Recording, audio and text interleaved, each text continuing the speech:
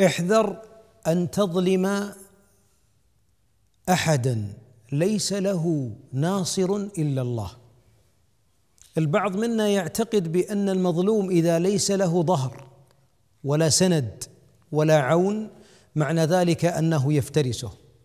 إذا نمت وما نامت عين مظلوم وأرسل السهام إلى السماء وقال حسبي الله كانت النصرة من الله. فدعوة المظلوم ليس بينها وبين الله حجاب.